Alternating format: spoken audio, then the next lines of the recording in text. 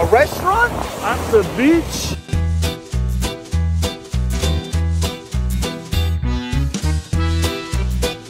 Let's get that pasta cooking, bitch.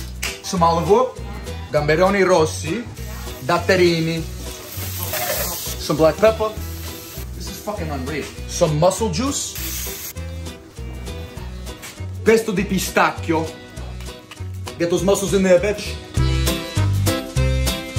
When there's only women in the kitchen, you know it's gonna be amazing.